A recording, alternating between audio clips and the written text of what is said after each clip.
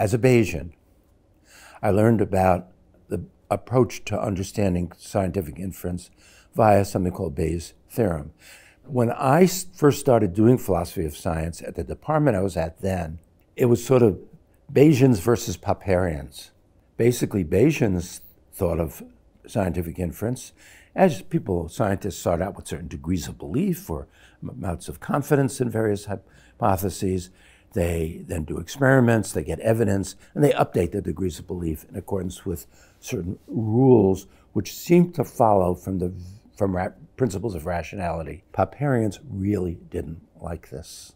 And so that was what the fight was over in those days. And in fact, in statistics, the two approaches to statistics, the broad approaches to statistics, I'm oversimplifying, are so called orthodox or significance test, testing on the one hand and Bayesian on the other hand. And really, this, that's kind of like a, a following of the dispute between Bayesians and Popperians in philosophy of science.